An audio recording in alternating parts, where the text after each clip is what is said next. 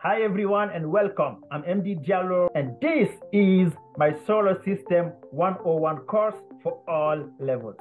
If you are really fascinated about space and the solar system, you are in the right place to learn lifelong skills from public available information. Would you like to learn and refresh your knowledge about what is space?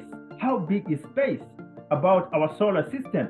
About our own star, the sun, Kuiper Belt, the Oort cloud, beyond our solar system with exoplanets and galaxies, planets, dwarf planets, moons in our solar system, and then learn about eclipses, asteroids, comets, and meteors, and a lot more. Here's an example.